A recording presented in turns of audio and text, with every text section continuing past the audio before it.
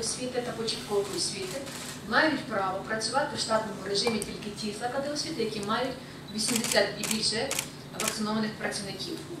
Якщо на 23 вересня, в день впровадження жовтого рівня жовтовічної безпеки, у нас загальної середньої освіти 105 закладів перейшло на дистанційну форму навчання, то що на сьогоднішній день, на сьогоднішній ранок, розпочали свою роботу дистанційно 31 заклад загальної середньої освіти. Так, у Кременчуцькому районі це 4 заклади зі 107.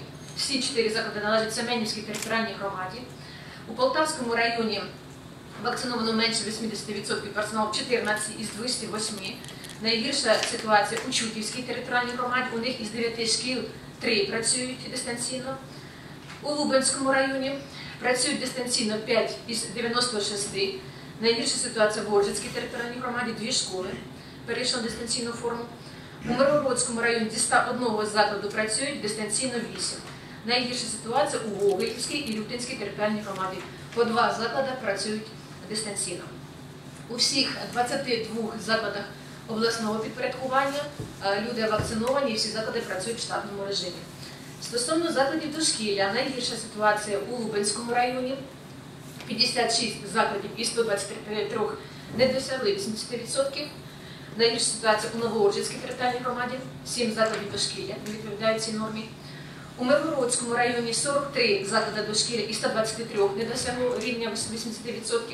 У Полтавському районі в 76 з 246. В Кременчуцькому районі в 25 закладах зі 131. Найгірша ситуація знову ж таки Семенівське і Градиське територіальні громади. Із 75 закладів позашкільної освіти надають послуги свої в штатному режимі 52 заклади. Із 30 закладів професійно-технічної, професійно-технічної освіти працюють в штатному режимі 29 закладів. Один у нас е, перейшов на дистанційну форму е, навчання. Менше 30% вакцинованих це Градиська аграрне училище, наша шановна бджолярка. Із 26 закладів фахової передвищої 17 працюють е, в штатному режимі. І серед закладів вищої освіти е, єдиний заклад, який перейшов дистанційну форму освіти, це на Національний педагогічний університет імені Короленка.